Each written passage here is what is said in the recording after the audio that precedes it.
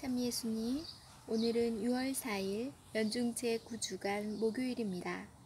독서와 복음 말씀 봉독하도록 하겠습니다. 성부와 성자와 성령의 이름으로 아멘. 제1 독서입니다. 사도 바오로의 티모테오이서 말씀입니다.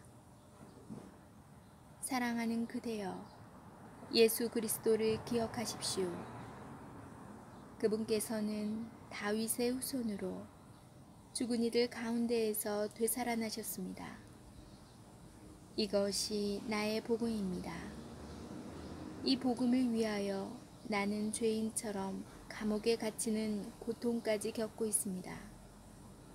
그러나 하느님의 말씀은 감옥에 갇혀 있지 않습니다. 그러므로 나는 선택된 이들을 위하여 이 모든 것을 견디어냅니다. 그들도 그리스도 예수님 안에서 받는 구원을 영원한 영광과 함께 얻게 하려는 것입니다. 이 말은 확실합니다. 우리가 그분과 함께 죽었으면 그분과 함께 살 것이고 우리가 견디어내면 그분과 함께 다스릴 것이며 우리가 그분을 모른다고 하면 그분도 우리를 모른다고 하실 것입니다. 우리는 성실하지 못해도 그분께서는 언제나 성실하시니 그러한 당신 자신을 부정하실 수 없기 때문입니다.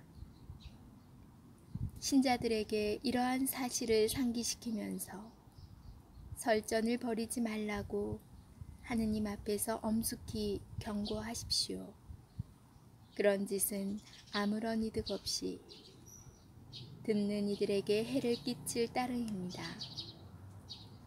그대는 인정받는 사람으로 부끄러울 것이 없이 진리의 말씀을 올바르게 전하는 일꾼으로 하느님 앞에 설 수 있도록 애쓰십시오. 주님의 말씀입니다. 하느님, 감사합니다. 복음 말씀입니다.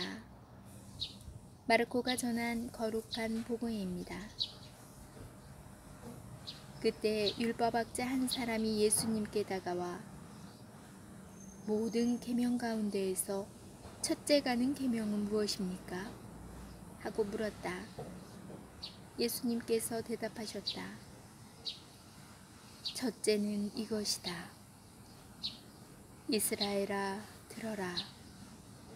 주 우리 하느님은 한 분이신 주님이시다. 그러므로 너는 마음을 다하고 목숨을 다하고 정신을 다하고 힘을 다하여 주 너희 하느님을 사랑해야 한다. 둘째는 이것이다. 내 이웃을 너 자신처럼 사랑해야 한다.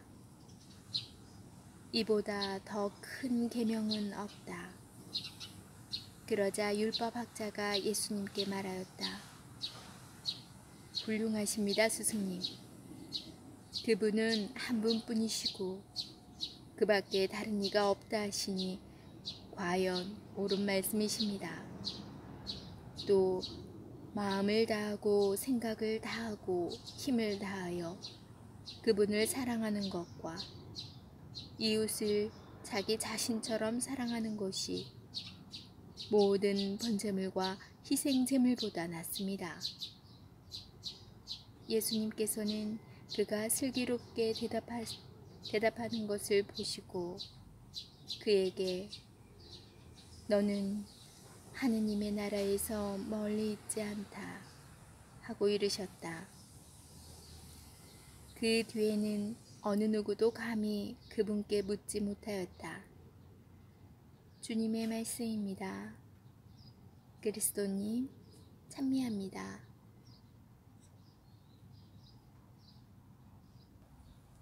잠시 묵상하겠습니다. 맹자의 알묘 조장이라는 말이 있습니다. 싹을 뽑아 올려 자라는 것을 돕는다 라는 뜻인데 이와 관련하여 송나라에 어느 어리석은 농부 이야기가 있습니다. 그는 자기가 심은 곡식의 싹이 더디게 자라자 이것이 걱정되어 싹을 잡아당겼습니다. 그러고는 집에 돌아와서 아들에게 자랑을 합니다. 오늘 내가 큰일을 했지. 싹이 잘 자라도록 도와주었단다. 이 말을 들은 아들이 밭에 나가보니 뿌리 뽑힌 싹들이 햇볕에 말라 죽어 있었습니다.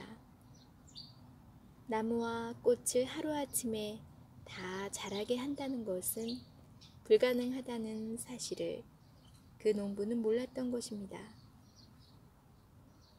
생명에 담겨 있지 않는 공산품이야 정해진 시간 안에 완성품을 만들 수 있지만 생명이 담겨 있는 것은 작은 데서부터 시작하여 세월과 함께 자라도록 인내해야 하는 것이 이치입니다. 사랑도 마찬가지입니다. 사랑은 하느님의 생명이기에 누군가를 향한 사랑은 기계로 뚝딱 만들어지는 완제품처럼 금세 완성될 수 없습니다. 뱃속의 아이가 자라는 동안 산모가 고통을 겪듯이 논밭에 뿌린 씨가 자라나 열매를 맺기까지 농부의 수고가 필요하듯이 하느님을 향한 사랑도 이웃을 향한 사랑도 숭고하고 아름다운 사랑으로 성장하기까지는 인내와 좌절, 땀과 눈물이 녹아 들어간 세월이 반드시 필요한 법입니다.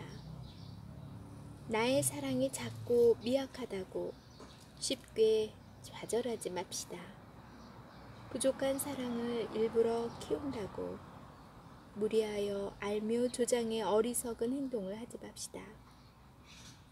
그저 하느님의 섭리 안에서 열매 맺기를 희망하며 세월과 함께 우리의 사랑을 잘 가꾸어 나갑시다. 아멘.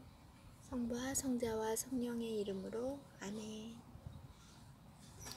오늘은 제가 돌틈에 핀 민들레 꽃 앞에 와 있어요.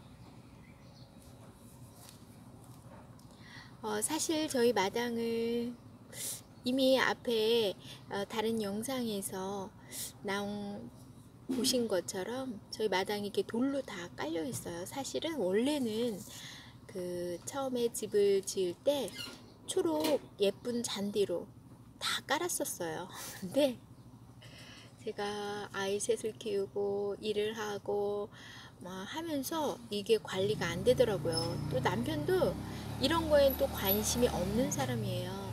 그렇기 때문에 이제 아, 제가 좀 해야 되는데 너무 시간적인 여유가 없어서 도저히 막 거의 마당이 이상하게 열대우림이 돼가고 있어서 안 되겠다 싶어서 일단 어 약간의 나무만 빼고는 다 이렇게 돌로 깔았거든요. 그 돌 틈에서 오늘은 이렇게 피어난 어, 생명력이 강한 민들레가 눈에 들어왔어요. 우리 신앙도 역사를 보면 굉장히 어, 끈질기게 잎을 것 같다는 생각이 들더라고요. 어, 그 모진 박해 속에서도 계속 이어갈 수 있는 힘. 어, 아마 하느님의 뜻이기에 가능하지 않나 생각이 들어요. 예전에 음, 처음 그러니까 신앙생활을 이제 들으면서 하느님의 뜻대로 살아라 뜻대로 살아라 하는데 그 하느님의 뜻이 무엇인지 굉장히 궁금했어요. 어, 성경을 가까이 하지 않은 제가 어디서 이렇게 누구한테 묻지 않으면 얻을 수 없는 그런 교리들을 중에서도 하느님의 뜻은 과연 무엇인가가 굉장히 궁금했었는데 성경을 계속 접하면서 깨닫게 되더라고요. 하느님의 뜻은 바로 오늘 복음 예수님께서 계명을 주신 바로 그거 하느님 사랑 이웃 사랑 아, 네 바로 그 가장 중요한 핵심이 아닌가 싶어요. 그래서 또 어떤 분들도 어, 그러면 하나님 사, 그 계명에 하나님의 뜻이 뭐니 이렇게 묻는 분도 있었어요. 그래서 어, 자신 있게 말씀을 드렸던 것 같아요. 제가 성경을 읽어보니 하나님의 뜻은 이런 것 같다. 이렇게 살라는 의미이니 어, 잘 기억하십시오라고 말을 해줬던 기억이 나요. 어, 여러분들도 이젠 어, 어느 누구가 물어봐도 하나님의 뜻이 과연 뭡니까? 그리스도인은 어떻게 살아야 됩니까? 라는 질문에 당당하게 주님의 뜻을 말씀하실 수 있는 그런 신자가 되어야 합니다. 하느님을 사랑하고 이웃을 사랑하는 것. 네.